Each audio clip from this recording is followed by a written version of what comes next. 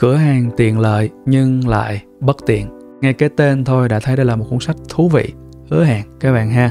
Khi đọc sách thì có ba điều mình sẽ mong chờ. Cuốn này thì có cả ba các bạn. Số 1 là những cái bài học sâu sắc, những giây phút để giúp độc giả nhìn lại bản thân. Cuốn này thì có rất nhiều bài học hay về các mối quan hệ, về hành trình chữa lành và những tổn thương tâm lý. Số 2 là sự đa dạng về mặt cảm xúc. Đây là cuốn sách hiếm hoi khiến cho mình khóc. Bên cạnh đó là những cái tiếng cười, những cảm xúc lân lân vì hạnh phúc. Đủ mọi cung bậc cảm xúc khác nhau sẽ được tạo ra trong cuốn sách nhỏ với 300 trang thôi các bạn.